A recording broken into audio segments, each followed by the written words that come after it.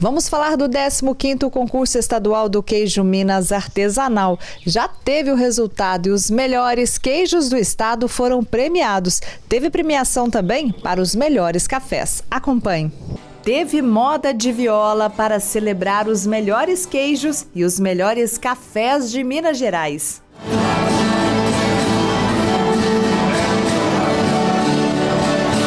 A final do 19º concurso de qualidade dos cafés de Minas Gerais e do 15º concurso estadual do queijo Minas Artesanal aconteceu na sede da Emater em Belo Horizonte. A cada anúncio dos classificados, a emoção tomava conta dos convidados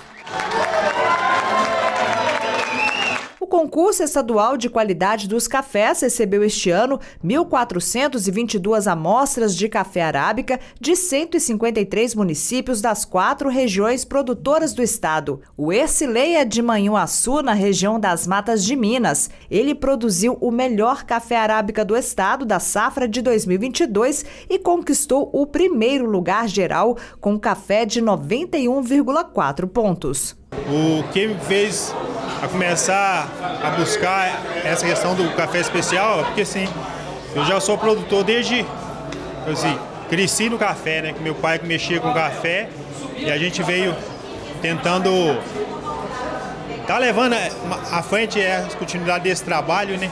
Que ele ensinou a gente desde criança. E a gente, como já trabalhava com café, e eu via falar em café especial bem no início, foi lá em 2010 que a gente começou a, a buscar isso. Aí eu vi que tinha uma. Queria trabalhar com café, mas queria uma forma diferente, né? E vi que o café especial, além de trazer uma melhor qualidade para nós produtores, trazer também uma rentabilidade maior. Numa disputa acirrada, o 15º concurso estadual do queijo Minas Artesanal sagrou como grande campeão o queijo da Cristina, de Vargem Bonita, na região da Canastra. O queijo, com 15 dias de maturação, alcançou nota de 91,44. Uai, é um queijo de boa qualidade, né? Para chegar até aqui, para ter um queijo bom, a gente tem que produzir um leite bom. O leite tem que chegar de boa qualidade até a queijaria. E todas as higienes possíveis. Este ano, a grande novidade do concurso estadual do queijo foi a realização da primeira edição do concurso estadual dos queijos artesanais de Alagoa e Mantiqueira de Minas.